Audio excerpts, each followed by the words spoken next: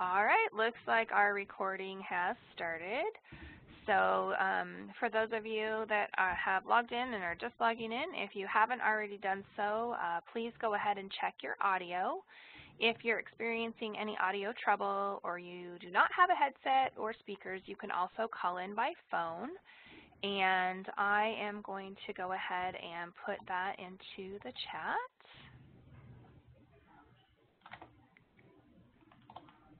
And I put that call-in number in there for everyone. Um, I do have a comment in the chat, though. Uh, Luann wants to know if we're talking. I'm just going to say to her, yes, we started.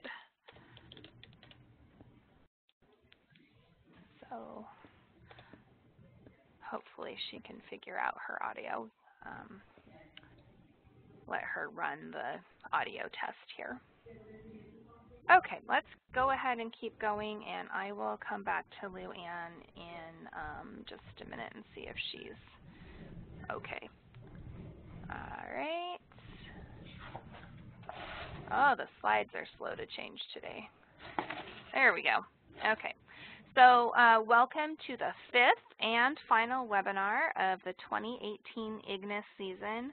I cannot believe that we've done five webinars already and that we're um, finishing up today. It's just crazy. It's gone so fast. Um, IGNIS is the Latin word for spark or ignite, and that's exactly what we are hoping to do today is to ignite your curiosity and to spark your intellect.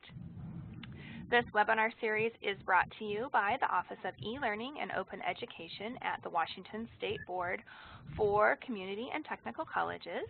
And um, you're stuck with just one host today. My co-host is out sick. Um, Mark Carbon is usually here to help with introductions. So um, my name is Alissa Sells, and I am the creator of this webinar series, and I've hosted the series for the last five years with various co-hosts. And I will go ahead and share out my contact information with you at the end of the webinar. So um, if you have questions about IGNIS, um, you can contact me. Okay, so our topic today is teaching students to communicate professionally, and our presenter is Ellen Bremen. And Ellen, I, my apologies, I forgot to ask you how to pronounce your last name, so hopefully I said it right. It's Bremen, but it's, it's Bremen. I knew it was going to be Bremen. Yeah, it's totally fine. Okay, so let's do that again. Our presenter is Ellen Bremen. Okay, and I should have known because there's only one M, so I had 50-50% of chance of getting but that right. Bremen, Germany, so it's confusing. All right, well, I originally have a German last name too, um, and it was always pronounced wrong, so I, I totally get it. So a big thank you to Ellen for being here today to share her knowledge and expertise with us this afternoon. And um, we'll get to introducing Ellen here in just a minute. Um, I would like to point out that all of our webinars are live captioned. And I'll thank um, ACS for their real-time captioning services. And I'm just going to put a link to the captions if you um, want to open those and read along while you're listening. Uh, I'm going to put that into the chat for you. So feel free to open those. They do open in a separate window, just so you know. And you can also access um, the keyboard shortcuts if you need them, and I will go ahead and put that into the chat as well, just for anybody who'd rather use their keyboard than their mouse if you need to navigate around for anything. All right, so um, like all of our webinars, uh, this webinar is being recorded and you can access the recording and actually all of the recordings and all of the resources from um, all five years of our um, webinar series on the blog, but I'm going to put the link directly to the 2018 recordings. So um, that just went into the chat, and that's the um, that's the URL that you see onto on the screen there. It's um, it's a bit.ly link. It's bit.ly slash um, Ignis, I-G-N-I-S, all caps, 2018 dash recordings with a capital R. So if you need to go back and find those later, um, you can. So for those of you that were listening in while we before we started the recording and um, started the webinar, um, you know that we've switched web conferencing tools this year, and so we'd like to take a minute at the beginning just to get started with um, a very brief overview of the meeting interface, and then um, at that point when we're done with that, I'll go ahead and introduce Ellen to everyone. So you can find the list of participants and the participants tool in the participants panel, and that's near the top right of your screen.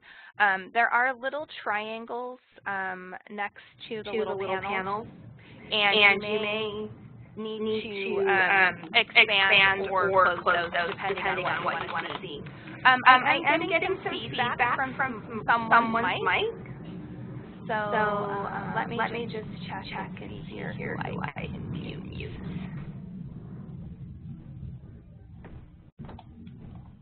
Hmm. All right. Just getting, Getting an echo, of myself, so it's a little difficult, to, talk talk and and concentrate. Is Is anyone, anyone else hearing, hearing the the echo? No. No one No else one is else is getting, getting it it but but me. me. That's, That's weird. weird. I've, I've never, never had that that happen, like like mid, mid in, in, introduction. introduction. So, So, all right. all well, right, I'll well, just, I'll just um, um, try to try to muddle, muddle through it. through it, So, so, uh, uh, forgive, forgive all the awkward, pauses. pauses. I listen, I listen to myself talk while, while I'm I'm talking. Okay, Okay, sounds, sounds like, like someone, someone else is getting, getting the echo, echo as well. well. Okay. I I am am going to pause here just a just a second, if we if we fix can fix that. Okay, Okay, is that better? No, No, not, not yet. yet. Just, just um, Um, pausing pausing for various people people here. here. Okay, how's that? Is that better? The echo's gone away for me. Ellen, the echo was coming from your mic, so I'm going to leave you muted until um, we're ready to have you start, okay? Everybody good? Better. Okay, perfect. Yes, it was distracting. I see that um, comment. It's hard to, to listen to that, um, that double there. So, okay, hopefully we are back on track now. Okay, I was talking about the participants panel that's near the top right of your screen. Um, do get ready to type. Ellen has some questions for you built into her presentation, so we will be using the chat feature today. And you can also type your comments and questions into the chat panel as well. And that's near the bottom right of your screen. And you can um, type as we go if you have a question, or feel free to raise your hand to ask a question, and I'll show you where that little hand button is in just a second. Um, and also, um, if you do send a chat. I think I have it enabled correctly, um, but be sure that you're selecting everyone from the drop-down menu when you're sending a message just to make sure that it goes through to the entire group and not just to an individual person. You can access um, the WebEx help information by clicking on the help link in the menu options, and that's near the top middle of your screen. And then you can also enter a full screen view by clicking on the expand arrows near the top middle of your screen. So um, if you're having a hard time seeing the slides, because sometimes um, the windows can get kind of tiny depending on what device you're using to view the webinar, um, if you want to pop into full screen view, sometimes you can, you can see them better. Um, but you can also get stuck in full screen view. So um, to exit full screen view and get back to the full meeting interface, you can either use the escape key on your keyboard or um, you can click on the return key that's on the pop-down menu. If you just hover over the top um, area near the top of your screen, a little menu will pop down. There's a blue button that says return on it. That's your other way back to the meeting interface. All right, so the participant tools, um, additional tools, you can either raise your hand to speak, and um, if you do raise your hand to speak and would like to participate um, using your microphone rather than typing into the chat, um, you'll just need to mute and unmute yourself. Um, we ask to, that you keep yourself muted when you're not speaking and that um, you just remember to unmute your mic uh, when you're ready to talk. So um, I think that's it for the getting started. So um, before I introduce Ellen, uh, I just like to say that I don't always get the chance to meet our presenters face-to-face. -face. Our presenters come um, from all across our lovely state of Washington, and occasionally we have presenters um, who join us from other states, but it's mostly um, Washington faculty and staff who present for us. Um, and I don't always get the chance to meet them, but I did have the honor and pleasure of meeting Ellen in person recently at the uh, 2018 ATL conference in Vancouver, Washington early earlier this month. So um, I just wanted to, to say that I had really enjoyed uh, meeting her and having lunch with her and getting to know her. So that was really um, fun for me to get to know um, a presenter that I hadn't met before. All right, so let's get to our official introduction of Ellen. Um, Ellen has taught for 17 years with an emphasis on interpersonal communication and public speaking. She has earned three national awards for her teaching innovations, and she holds degrees in both communication studies and post-secondary education.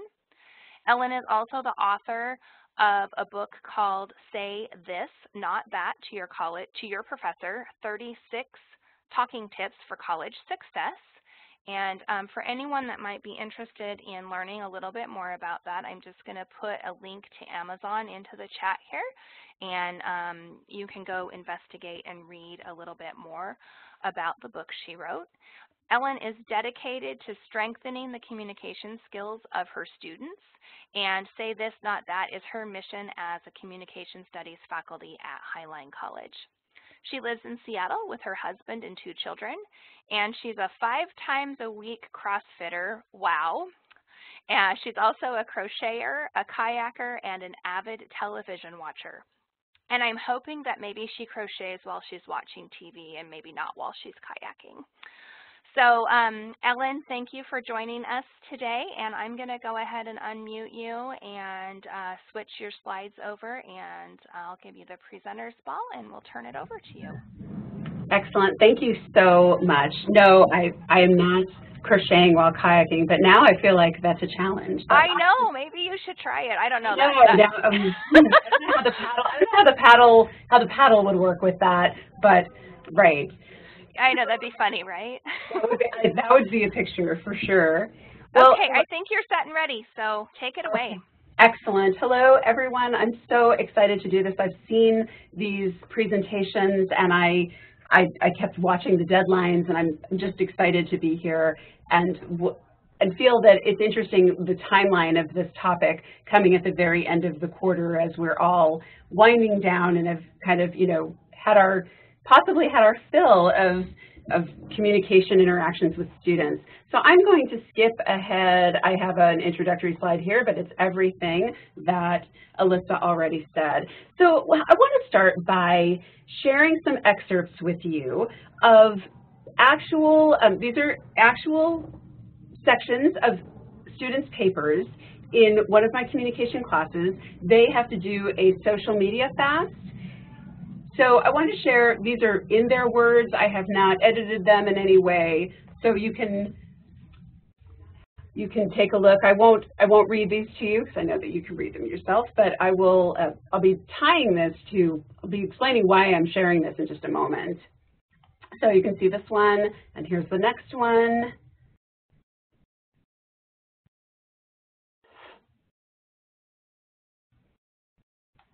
And another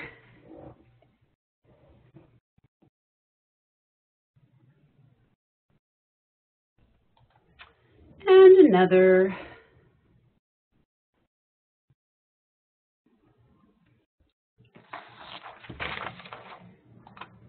So here's what I find interesting. What we're up against, if you, if you, those statements, and those are, those are across a diversity of students, older students, younger students, um, students of, you know, varied genders. It's, it's across the board, and these are comments that I see in these papers year after year ever since smartphones have really become, let well, I guess we could say a thing. It's definitely, it's, it makes me think about our expectations. It's those, those statements, students are telling us that they are not, there, there's a lot of discomfort about communicating, they don't want to make eye contact. I'm sure we've all seen this as we've, as we've been teaching, but we are in this environment where we have extremely high expectations for professional communication. Students say things or they behave in a way that we think is that we deem is not professional and we're right, but then what we have to realize is that in students' personal lives, they are just not, many of them are just not communicating as much. So then, if they're not communicating out there, we have this expectation in here that seems almost a little bit over the top, right? It, it feels like, wow, we're expecting them to do something that they're not necessarily getting as much practice in these times. They're not getting as much practice on the outside. So in, in all of, this next slide will not surprise you. I followed, I follow the National Association of Colleges and Employers. They do this annual study looking for the top employability skills, and a version of this is on every one of my syllabi because I teach gen ed and a gen ed course that is very anxiety producing for students. I mean, public speaking or interpersonal or our theory classes, those are, you know, they're stressful because students have to communicate, but I try to help them see that these are the skills that employers are looking for. So, I mean, it, it it's meaningful for us to take this, to take this opportunity to teach them more, more productive communication skills. So as Alissa said, I've been teaching for 17 years, and I know you might wonder, were things so different before smartphones? I feel that what's changed more than anything is that students are, I, I think there was definitely the same type of discomfort, but I, I feel like it's definitely changed and it's gotten worse. I mean, there are segments of my classes that always bred amazing discussion, and now there's just oh, across the board a lot more hesitation. In the earliest days of my career, which um, started back in 2000, I, you know, a student would say something like our, our very favorite, did I miss anything important today, right? And so I remember thinking, wow, you know, I'm sure we've all thought of delicious responses to that that are, you know, very satisfying for us that we would never say. But what was interesting is, is as students continue to say these, you know, unproductive things to me, I started to keep this legal pad. Remember, this is before, you know, before we, before smartphones, before um, all the, as much technology as we have. So I kept this legal pad in my desk, and I would write down some of these phrases. And as the pages became increased with these, you know, same types of phrases that I would hear students say that I'm thinking, wow, why would they say that? That was what turned into say this, not that to your professor. So the bottom line is this, before we get into um, the heart of this presentation, is that so I'm in communication, as you know, but I firmly believe that regardless of discipline, we are arm in arm on the front lines. We are the last of the front line to help students learn how to communicate properly. And I'm not talking about changing your curriculum, but I'm talking about when those times come up that we know that they are communicating in a way that is not becoming to, would not be becoming to an employer and could potentially be harmful, that often in, we, we move to solve their problem, but we never really deal with the interaction, and that's where the teachable moment is around communication. So to that end, there are three things that I wanted to focus on in our discussion today. So the first one is email communication, and then the language of responsibility, and finally, the, some of the language of our own transparency, which has an impact on students as we sort of model our own expectations. So when we think about email communication, I'm, I know that it's, it's a problem across the board for many faculty. Typically, our, you know, it used to be that our problem was that they had an unproductive email address, right? They just had something that was not, that you know, you're thinking, wow, this is what you came up with. This, this is what used to be our problem. But now it is more you know, the content of the content of their email and how they don't realize that how they're communicating via email can be problematic. Also, what I think students absolutely don't realize is that, especially, and I especially find this when students, uh, you know, are not checking their email based on, you know, class uh, Canvas or whatever, and you know they'll say, "Oh, I just didn't check." They just don't realize how pervasive email still is in private industry. They don't realize that every email exchange with us, every back and forth attached document, every discussion forum post, this is all demonstrative practice for their ability to professionally communicate. So these are, again, some excerpts of emails that I've received, and this is this one is literally exactly in response to, a, you know, the student had asked me a question I about a grade. I had given them some clarification. I did have a greeting in my email. I did have a close, a signature line, but this is what came back to me. You know, so that's right. I mean, I'm, I'm sure you've seen similar, you know, maybe you've seen similar things. Or this one came in, again, exactly like this from a different person. And then this one.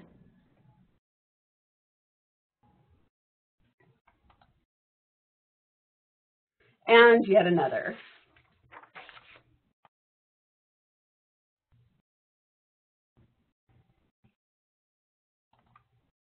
So I'm going to share in just a moment some an assignment that I've created around professional email. But before I do, I'd like to hear about some email blunders that you experience. What experiences do you have with your students with email? So go ahead and either raise your hand and we will have you respond verbally or feel free to uh, type your comment in response to Ellen's question into the chat.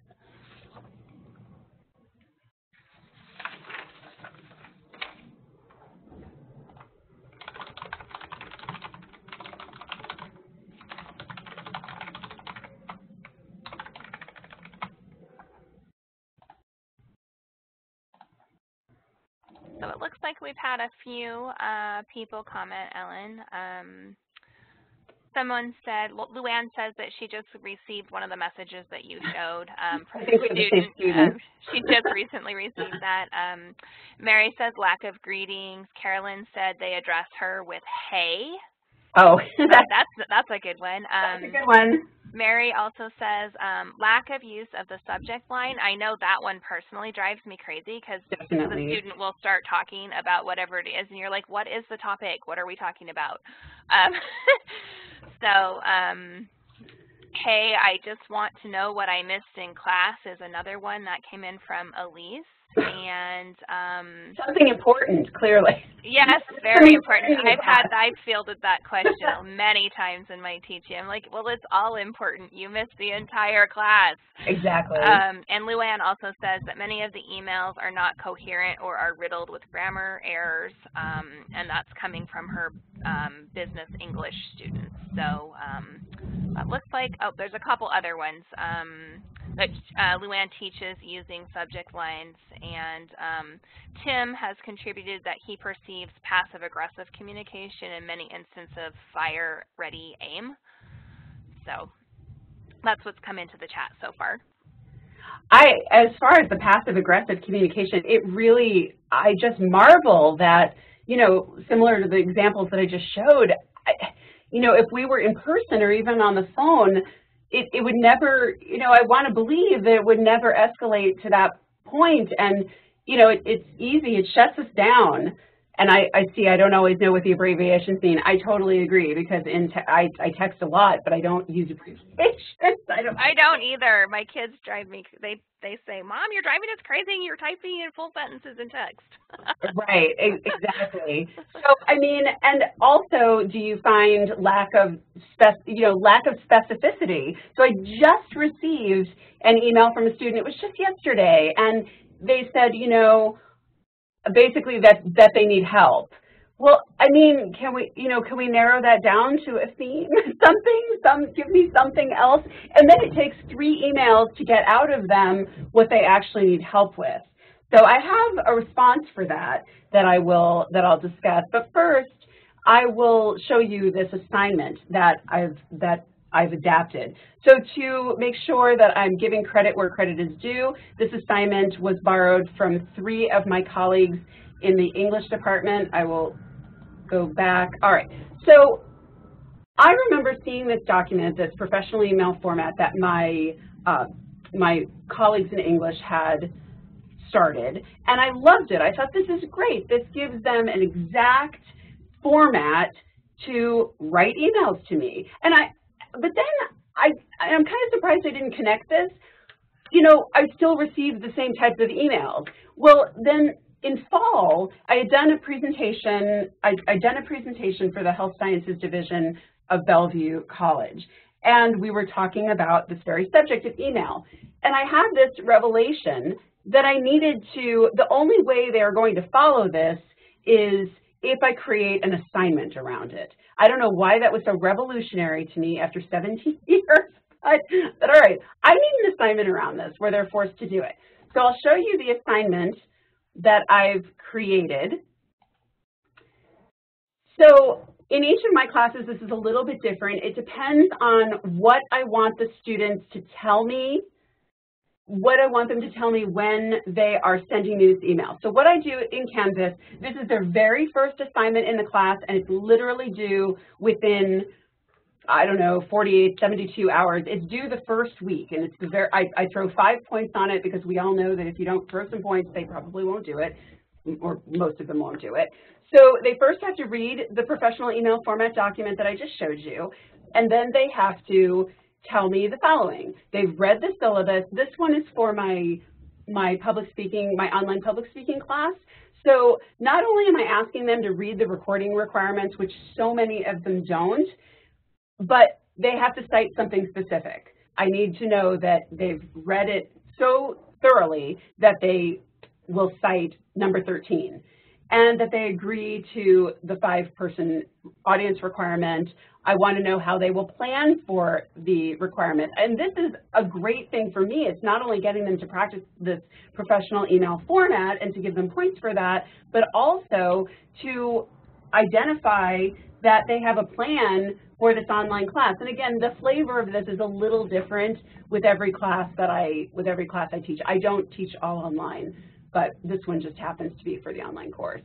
So then I decided, you know, with this email problem that I'm having that students will say, oh, I just didn't see your email, then I ask them to tell me that they've set a text alert from Canvas or they've established some other email um, forward from something that they will check. And then I want them to let me know if they have any questions or let me know if they have any concerns. So, you know, has this created uh, all perfect emails. No, it hasn't. But it sets up an expectation where I feel that now I have more gravity if they do send me an unprofessional email in format or in content, and I'll talk a little bit about the content in, in a few minutes, um, a statement that I have about the unprofessional content in my syllabus that I've devised this allow this opens that door for me to say something about it and say, you know, remember that professional email format assignment that we did? And I'm really, I'm pleased with the way, you know, throwing silly five points to it has made, you know, it, I feel like it has definitely made a difference and it gives me some early connection with them and gives them the early expectation.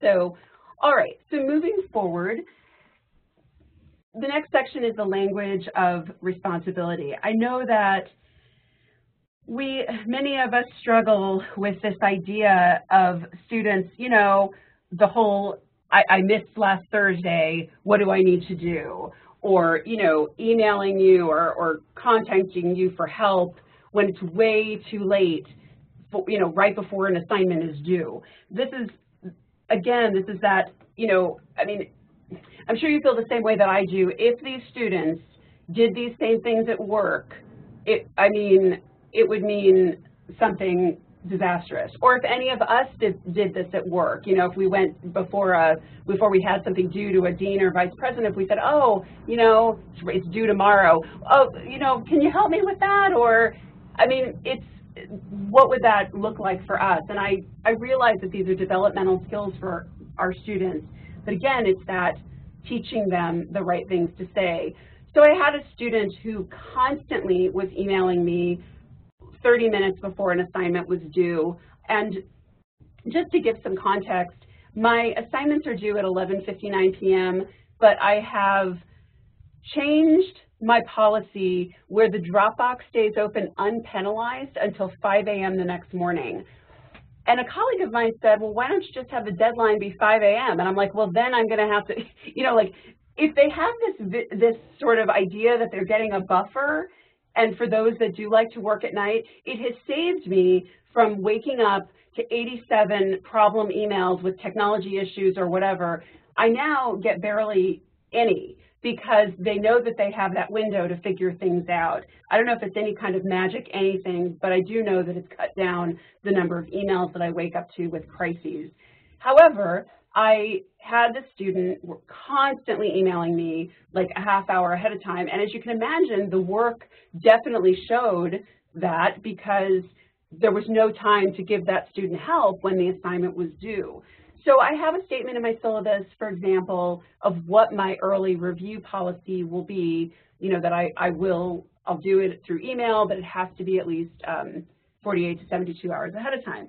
So what was interesting is the student actually missed an assignment, came to my office very upset because the zero really dropped their grade. And, you know, as I came to find out, the student had said, I said, you know, I, I understand that you are concerned about this grade, no question, I, I get it, and you're concerned about your average, but I really want to talk about the overall the overall communication here. That, you know, when you're sending me an email a half hour before it's due, number one, I may not be awake, and number two, that's not really enough time for you to, even if I gave you the help, it's not really enough time for you to implement it. So what is the pattern here? What is what's happening that's in the bigger picture? And the student just kept focusing on the grade, but I have a terrible grade, I'm gonna get in so much trouble. And I said, but what is the, where, what's the pattern? So, you know, the student told me that they were play, they play basketball in the afternoons, and not on a team, but just like, you know, just like for fun. And then they fall asleep and then wake up and realize that the assignment is due. So, you know, I appreciated, I definitely appreciated the honesty, but you know, there's there's this issue of again this idea of what that sounds like. I mean, could any of us say that to our superiors? I mean, that, that, again, just that lack of conception that how this is coming across. So these are some of the things that I've been just working with with students. So first of all, to be selfish, and that's what I told that student. Be selfish in the best sense of the word, meaning that you deserve to have help. You're in college, you're not meant to know everything about everything. It's my job to help you, but be selfish about the timeline when you ask for that help and do it early enough where you can actually benefit from it. Care about your own stress because when you're constantly backing up against a deadline, then you know that is extremely stressful and you deserve more peace than that. I also, it, and this is in my syllabus, this is all in my syllabus, if I, I literally give them the words to ask me for help, you know, tell me what you've already done. So like the email that I received where the student said, I need help, and there was nothing else there to, to tell me. Tell me, you know, that's a place of helplessness, that's a place of vulnerability. Just, you know, throwing up your hands and saying, I'm, you know, oh, I, I just don't get it. But when you can say to me, I've read through the persuasive speech assignment, I am stuck on the opposition this gives me the place where, you know, this gives me a place to work with, and it gives me a place to help you, and it also makes, will give you this feeling of, you know, rather than feeling so, you know, lost and helpless, it tells me you're sending the message that you've done something for yourself. So you've at least done something to try, but just saying, I'm so lost, I don't understand, I need help. I mean, this is why students are afraid to ask for help because they feel vulnerable and they feel embarrassed. But if you say what you've already done, it gives you a little, you know, some more credibility. And what is your concrete plan? So, you know, when students come to me and say, I, you know, I missed a week or I missed this or I missed that, I say, well, what's your proposal? Tell me what your plan is. Because they want to just throw it on our laps, but the language of responsibility is, here's what I'm going to do. I mean, if we were going to be late with something in our jobs, you know, I mean, I'm sure we aren't, but right, because I mean, we've been through all of this, been through school, and we're professionals. But if it were to happen, we would go in with a plan. You know, this this is my plan. This is how I'm going to this is how I'm going to rectify the situation. And you know, also teaching students to discuss where they've missed them. Where have you missed the mark? Like, where do you feel you? Where was the the the sticking point? Where was the hiccup? You know, what did you get to first? And then all of a sudden it was like, whoa, I'm not, you know, I'm, I'm not there anymore. And I and I I could use help. I could use guidance as you know, to figure that out. And then what are the specific issues? Again, that just rather than the generalities, what are the specific issues that you're dealing with with this assignment? What are the specific issues you had with this exam? Or, you know, what are the specific issues that are hindering you from asking for help earlier, you know, similar to the student that who was, um, you know, similar to that the student that I mentioned who was not asking for help in any kind of a timely manner, and it happens all the time. So I don't think that this, I'm trying to advance my slides here. There we go. So a colleague of mine, when we were talking about late, you know, work that's late and such, I I've just struggled for so many years with policies and, you know, being lenient and being very, you know, having zero tolerance policy. I just have gone back and forth and back and forth with the professional, again, the professional communication around some of these issues. And a colleague of mine sent me this um, brief. It's, you know, it's, it's dated, but I have to believe that it's no different now. And this is reasons why new college graduates either don't uh, keep their jobs or they don't get promoted.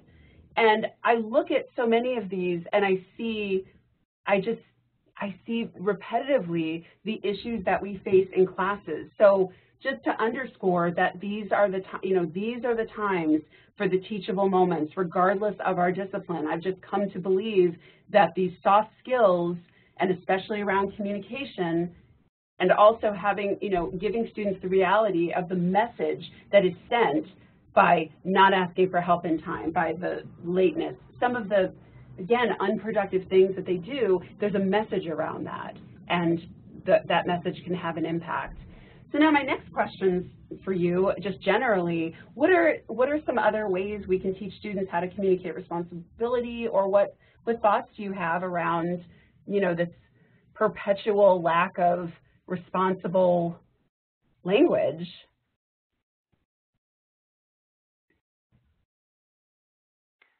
So go ahead and type your responses into the chat like last time, or feel free to raise your hand and we will call on you and you can share your comment uh, using your mic. Either way works.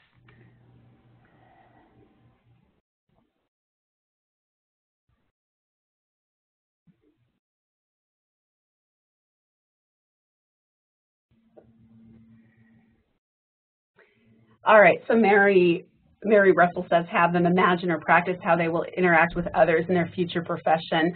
So I have something really, really scary to share about that. So I have a colleague who's teaching interpersonal communication right now, and she um, has just been flabbergasted because she does a lot of professional communication in there, in that class, and she said that several students have literally not connected how some of these topics, conflict management, et cetera, relate to their future. There's, there's that disconnect of how, of, you know, how does this relate to me? She did even a midterm, um, a midterm evaluation, and that had come up, and she was just, her mind was just blown.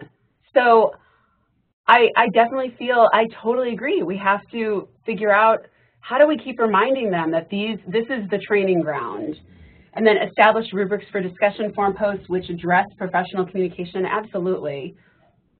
Absolutely, just these continued reminders of, of these interactions. Because they don't connect that discussion forum dialogue, it's still the same, you know, it's dialogue that could happen on email or in another meet electronic medium and modeling good communication skills ourselves. I have, um, I'm going to share something about that with the language of transparency in just a minute. And it's, in, it's evolving all the time, even for me. Create writing assignments with rubrics that address subject lines, message, and professional interactions. definitely. And I feel like if I can find a way, I'd actually like to bring that professional email format assignment.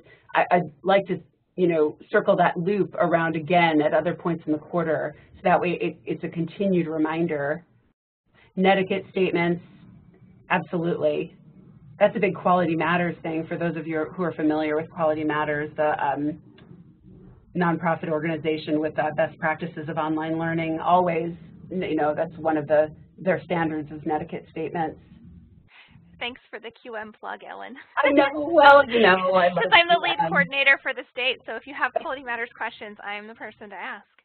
I love I love Quality Matters. Me too. All right, so the very last section here is this language of transparency, and I feel more than more than anything, I feel that the language of transparency starts with me, similar to the, the comment about modeling good communication skills ourselves. And I think this is just that constant self-check of how, you know, how are we communicating? So I created a, a um, I have a lot about communication in my syllabus. So the very first thing is I'm extremely transparent about the um, process of communicating with me. So, you know, when, what my window is to respond, if I can respond on weekends, please don't email me 15 times if I don't get back to you in five minutes. Uh, if you don't receive an email from me, here's what to do. And then the very important, I will only discuss student business through official campus channels um, not social media. And just for the record, I also will not connect with students on LinkedIn or on Facebook while they are my student. I have, I've always had firm rules for myself around that just because I, I fear that the lines would be blurred on, you know, students would be mess messaging me about questions and then if a problem arose, I don't, I would never want to get in trouble because I, you know, because I communicated in an, in an external channel. So I also have an expectation of their commitment, which means that they have to um, assign a forward, that how often I expect them to check email. And, you know, I hear it all the time. I didn't get your email. Sorry, I haven't been checking my email. And then, you know, it's basically my problem that they didn't, that they missed something. They missed something that I sent or, and I, I'm very whether my students are face-to-face -face with me or they're online, I send emails often. I just feel that, you know, it's, it's important. So, oh, I saw a comment, great advice on using official channels. I'm, I just feel like that, I would, I'd get burned by that if I wasn't careful. I just feel like I would. So I just keep it really clean during the time that they're my student and then, you know, after, afterwards, that's a, that could be a different story. So I created this personal manifesto a while back, and it, it's in my syllabus toward the end, and basically it gives me, the, you know, they're expecting to learn communication from me, that's what I do, right? But it gives me the, it gives me the opportunity to say to them, listen, you know, even if we're not learning about, I don't know, even if we're not learning about a particular aspect of, of, you know, this, even if we're not learning, you know, even if we're learning public speaking, but yet you communicate with me unprofessionally, I reserve the right to, I reserve the right to discuss that with you. You know, similar to those excerpts that you saw of the emails, like in addition to solving the immediate problem, this is where I feel like it's so critical for all of us to circle back and say, you know, once the problem's solved and say, hey, you know, if this if this were to happen in the workplace, this, you might want to consider approaching this in a different way. And some students are really, they can get really taken aback by that because they feel in, embarrassed or they feel like you're calling them out. But my goodness, I mean, if we don't tell them, who will? So I decided to put this, you know, my syllabus is like 350 pages long. I'm kidding, but it is, you know, I, I won't lie, it's kind of lengthy. Um, I have this in there that I have, I want to focus on all of their communication skills. And I think any of us can do this. So there was a question from Luann, does this apply to bad grammar usage in an email? I think that it can apply to literally anything. If we comment on that, we are helping them in this training ground in here for what they will have to do out there. Because I just fear if we don't tell them who will, and we're who else will tell them? I just don't know who else would do that. So this is the rest of, um, yeah, so that's, that's my manifesto. And I just, uh, something else that I wanted to circle back on. And I also have, a, as you see, I also have a statement in there about myself. If you feel that, you know, I mean, I, I strive not to be disrespectful. I strive to be kind and whatever. But if I, you know, come across in a way that's uncomfortable for you, then please, then I, you, you know, you can tell me about that. So I want them to see that this goes two ways. So the last thing that I wanted to share is, you know, based on transparency, I, I am, I do not allow extra credit ever. I I really feel that the um, I philosophically I have felt that you know in the workplace you can't get a bad review and then suddenly say you know well oh at the last minute oh what can I do to solve this that you know we should excel uh, you know within our degree of mastery if you will we should excel at the work that we already have to do and for students I really want to emphasize to them that you know focus your attention on the work that you have. Don't just say, oh, I will, you know, if this doesn't, if this doesn't go well, let me just do extra credit. Or, you know, is there anything else I can do? So what I have thought of that, that feels better to me is this assignment called the feedback loop. I believe, and I'm sure you'd agree, that in the workplace, when we have feedback and we have suggestions for how to improve our work, we are expected to act upon that feedback or at least respond to it in some way, right? So, I mean, you know, when my vice president said, oh, Ellen, when you submit your next post-tenure package, you know, it would be good if you could do this, I'm certainly going to heed that advice. So we're giving feedback all the time. And one of the things that really, I really struggled with is that, so let's take my public speaking class. I give tons and tons of feedback on an informative or persuasive speech, and that, or on the outline, that outline scaffolds to them getting up and delivering the speech. And I realized that, my gosh, they're not even, you know, they know that there will be an impact, a grade impact. The speech is a separate grade, but my gosh, I'm spending all this time and they are not even, you know, they're not even taking the advice. So now, you know, instead of any kind of extra credit, and students don't know when this assignment is coming because we both know that they will not give their best effort the first time if they do. But this is the feedback loop assignment. So they have to look at my exact feedback that I have given them. And what they need to do is either fill out this table or they can use the other alternate format below. I want them to, on the um, furthest column from the left, I want them to tell me what was the feedback verbatim that I gave them. And then I want to know the changes that they made, and I want to know where those changes are located. So I feel that this has given me, um, it, it's given me this alternative, this alternative situation to A, teach them how important it is to communicate your response to feedback and to suggestions and to react and revise. This has made so much more sense to me. Now, I only do this with high stakes assignments, and again, they don't know, they don't know when it will, they don't, you know, after the first time, it only comes one more time, and they don't know when it's coming. But from a professional perspective of teaching them this critical skill, because we've all passed documents back and forth with each other, right? And, you know, tell me, what do you think about this conference presentation proposal or whatever? You know, how does my promotion package look? We do it all the time, and we, we respect each other's feedback and we act on it. And I just feel like this has been a, this, this has been a great assignment. And also, as a byproduct, there you know, the, the, their speeches, their final work has improved so much because I'm forcing the communication around around revision. So again, another part of transparency is um, for me saying, you know, no, I won't do extra credit. And there was a comment that um, the feedback loop assignment looks like a well-delineated alternative to extra credit. So I'll tell you how I handle the grading on this. This is worth zero points, which I know you're like, what? But it, it I will go back and I will add points to the original uh, to the original assignment. So that's how I handle it. I didn't know, I just didn't know how to grade, how to assign points to this independently, and that made mo more sense. now, likewise, if they choose not to do this assignment, then the the assignment that it scaffolds to, in my case, the you know their speech, actual speech, will start at a lower threshold because they didn't do this. So it's worth zero points, but it but I will put points back on the say their outline. And it can, you know, it can't go to perfection. I tell them, you know, it's not going to go to 100%, but you can earn a significant, based on the changes you've made, it, you can earn a significant amount back.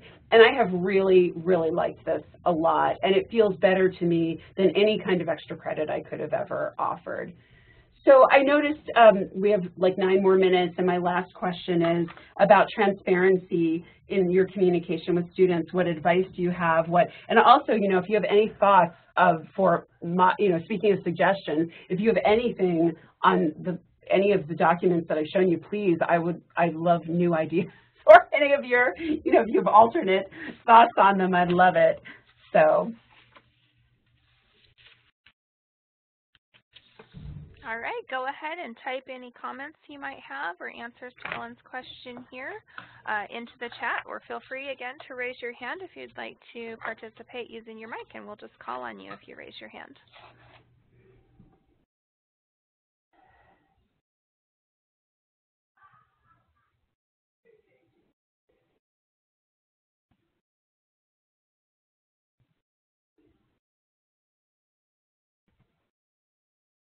Everyone's so quiet.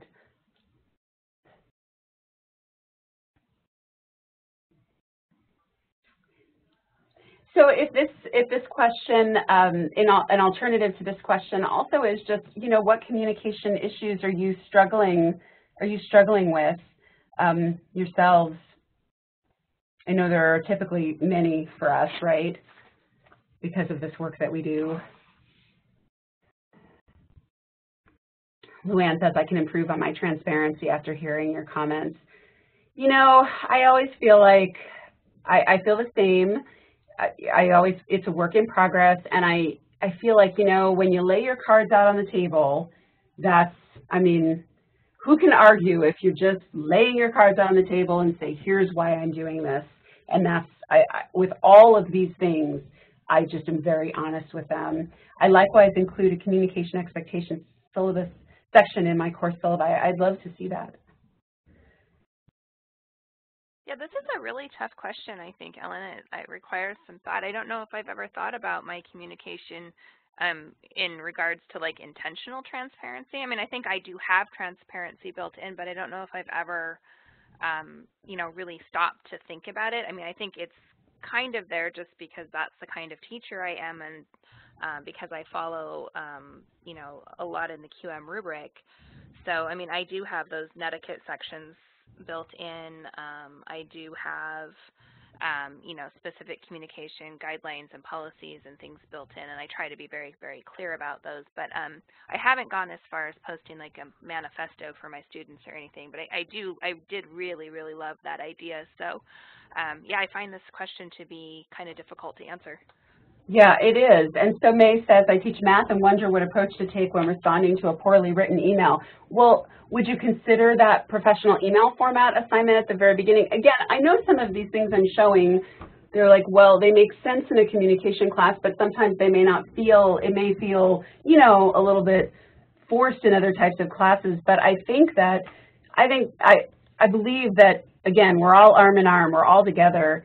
So that's, I mean, it gives the license then for us to say, when we receive a poorly written email, I'd, I'd like you to circle back, I'd like you to circle back to that professional email format. Now, I will tell you that in the English department, the folks that uh, created that original professional email assignment, some of them literally, they will respond to the student and say, I will not I will not respond to this email until or until it's in professional email format, or please resend in professional email format.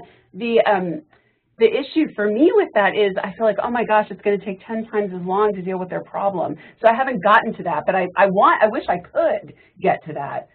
So Mary says, I also have communication expectations written in the syllabus about speaking only for oneself and using professional language such as women and men rather than guys. I love that. I need to add that in.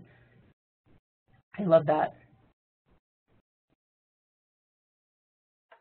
it's all, it's just, it's all a work in progress. I, I mean, just when I think I, you know, okay, I have a lot of, you know, I have a lot of things that I have in place, then there are new things that I realize, oh, you know, I should have more, more transparency or more, you know, it's, it's just constant.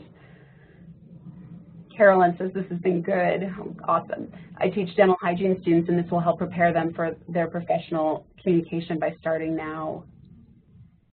And I always, and, you know, when I wrote my book, I in it I talk about, you know, let them mess up here with us in a place where it's, you know, the stakes are high, but they're not as high as, you know, if you if you have these same behaviors at work. Let let us be the let us be the the training ground where you have a little bit of room to mess up, but then you, you know, you learn how to say it correctly. Ooh, Ellen, there's a really great question in there from Mary. She says, um, do you have suggestions about how this could be approached college-wide rather than just in our individual courses?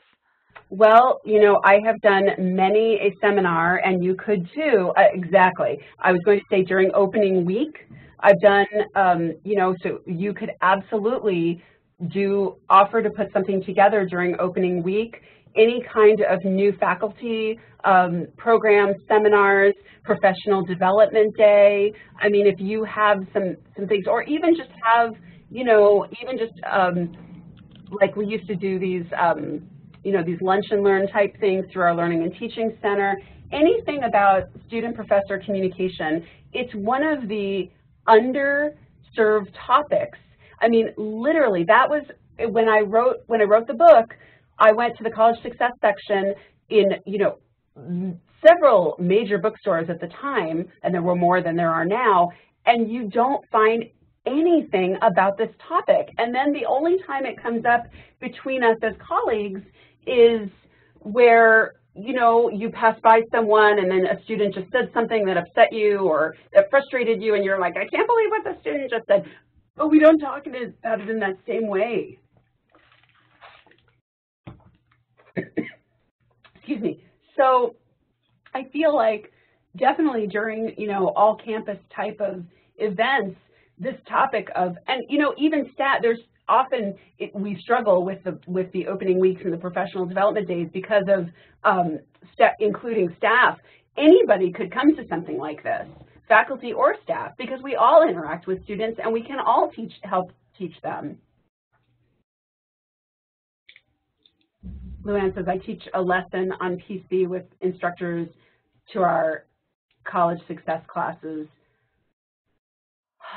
Thank goodness for you. Because, right, I mean, they don't learn otherwise. They just don't learn otherwise.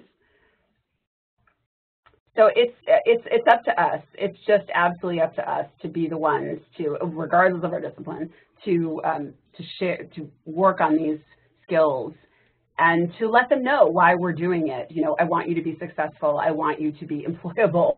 I want you to, I want to make sure that you communicate effectively and in a way that is, you know, a way that works for you in the workplace. I mean, better that they have those hard conversations with us than, you know, with someone who can affect their livelihood.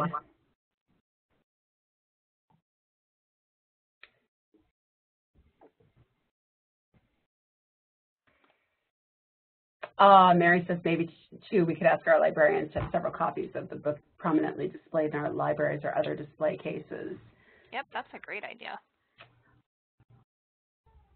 Well, it's um, I, ironically, the book is going to be going into third um, revision. I'll be working on that this summer, and I'm going to be at right now. It has in, it ha, each chapter also has an industry perspective. Um, so I take I I went to folks in various industries and asked them, you know, if if an employee asked you for extra, you know, the equivalent of extra credit during a performance review, or if an employer, or if an employee was perpetually late, how do you handle that? And I got people across all industries. But for the next revision, I wanted to add other faculty points of view. So I'm glad to see who all's here because I can tap you for some some of your own opinions, which would be lovely because I think that, um, you know, we all have these experiences and we all have these situations. So having more voices is very, um, it's just powerful and important to me. So Alissa, are we, I see we're at, how, where are, how are we doing? Yep, we're just um, about out of time, so um, if there aren't any more questions for Ellen, I'm just going to go ahead and wrap us up and close us out. We might run over like 60 seconds or something, but that's all right. Um, feel free, though, to go ahead and um, type any remaining questions you have in the chat, and if there are some questions after we close out, we'd be happy to hang out for just a minute and answer those. And um, Ellen, if you don't mind, I'm going to go ahead and put your email address into the chat for Ellen, everyone. So um, you can contact Ellen directly um, at E. Bremen, that's E-B-R-E-M-E-N, at highline.edu. And, um, well, this is it for this season. Um, we're done for 2018. And um, you can join us again next spring. We'll start, um, we start usually around mid-March, and um, I never know what we're going to be presenting until we get our proposals in. There's so much fabulous fabulous work going on in our system. So um, I would encourage you, if you're interested um, in being a presenter for us, either contact me or just watch for that call for proposals to go out. And that usually goes out kind of late fall, um, October, early November-ish, and it stays open for several months. Um, we're always looking for great presenters. And here's my contact information if you have any questions for me, and I'll just go ahead and um, also type my um, email address into the chat. It's asells, that's A-S-E-L-L-S at sbctc.edu. Feel free to reach out with IGNIS questions at any time. And um, the recording will get posted in anywhere from 7 to 10 days. I do need to send it out for captioning, so you can look for that. And um, I'll also be posting the handouts for Ellen's assignments that she showed you um, during, um, during her presentation. So I'd like to thank everyone for attending. Um, thank you also to Ellen. Really, really, really appreciate you being here and helping us close out the season. Um, and with that, I'm going to bid you all adieu, and I'm going to go ahead and turn off the recording.